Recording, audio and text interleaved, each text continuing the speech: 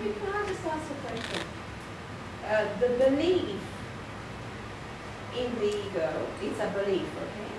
But then you can go further, a belief of a belief that there is no ego. So it's still a trap. Yeah, it, it wouldn't really do, any, do you any good to believe that there is no ego. Yeah, exactly. Uh, and this is where we could say it's a common thing where people will use mantras or phrases or cliches and will go around saying it's all an illusion anyway. And they usually have like a but. if you listen to them enough, it's all an illusion, but. Or it's all an illusion, and it's kind of almost like trying to just toss it aside by saying, I don't believe in the ego. I don't believe that it's real. I don't believe that the world's real. But emotionally, if, if the peace isn't there on a consistent basis, then that would be a good example of almost like a belief of a belief, uh, which is just another uh, kind of a, a delay maneuver.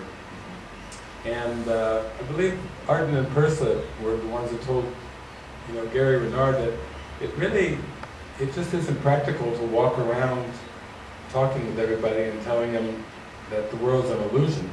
Um, you know, it takes a lot of mind training uh, to reach that state. It's it's not going to do anybody any good. I mean, I've told those stories like it would be like going into a hospital and somebody's up there in a cast and, and traction and everything, and you start going and banging on the cast and going, "What are you doing in here?" you know, you're wasting your time. It would be very inappropriate, actually, to do that. And it would be much more appropriate if you found yourself in a hospital to just watch your own mind. Watch what you are thinking. Watch your judgments. Uh, they can even be like metaphysical judgments, you know, like a holier than thou kind of attitude. And this is truly about being very, very humble and starting to say, wow, I've got this deep mind. It's so deep and so vast.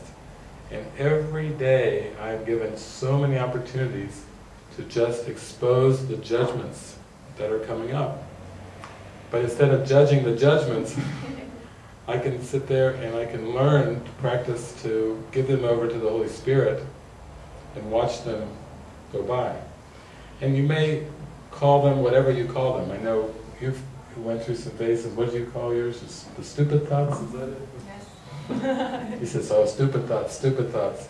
And then she says, oh, I'm, I'm getting to a point where I, I want to even let go of that, but they just seem stupid. They seem erratic, irrational. They don't have any kind of um, consistency. Uh, they don't seem to be in part of a flow at all. They just seem to be crazy, random thoughts.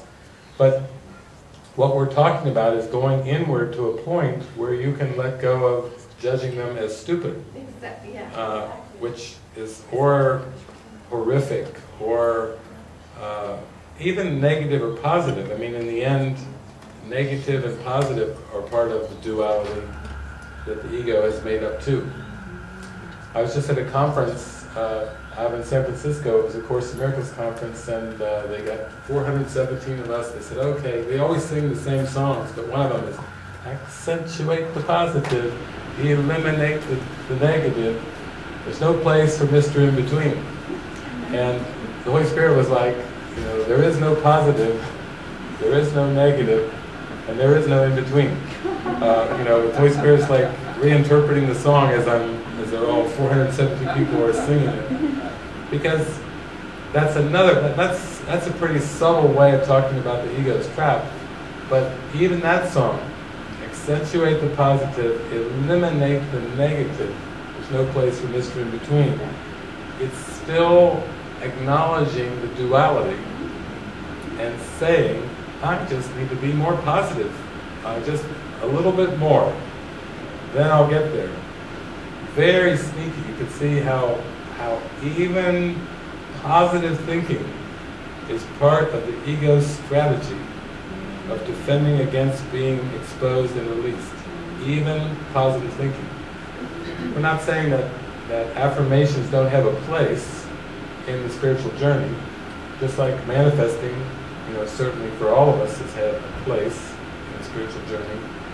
But it's just that if you want to go all the way, and you want to go to the point of really letting go of ego, then you have to start to see that the positive judgments and the negative judgments are on the same continuum. And as long as you engage in either one, you're on the ego's playing field.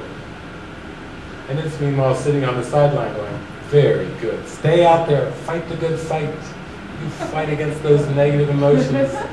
Kill, kill, kill. like cheering along. And, and that's, we're getting into the more of the subtleties when you start to, to start to unveil the trickiness, the sneakiness of, of positive thinking. Uh, some of you might have seen the movie uh, What the Bleep Do We Know, where they have the, the former uh, theologian from, uh, I think he's from uh, Scotland or Ireland, who's talking on there, Michael Ledwith. And he's saying, posit- most positive thinking is like a little smear, he says, covering over all this negative or all this judgment that's underneath. So I've said for years, I've said, yeah, it's like putting like sweet icing on a cake of mud. and if you go down, like some people like to test out their cakes with a toothpick, if you go down with the finger, you get the, the mud right underneath the sweet green icing. It's the mud. And that's good. I mean, it's good to get in touch with the mud. Uh, we're not saying that's a bad thing. We're saying well, all, all the better to go through the darkness to the light. It's just that there sometimes can seem to be a lot of mud. Uh, you're in a mud bath before you know it. And then it's like, why did I get on this spiritual journey in the first place? This seems like more like mud wrestling uh, than, than anything that's uh, helpful. So this is why we have to be very, very thorough in exposing these things. But this is a very good use of time when we come together like this because we expose the ego's tricks.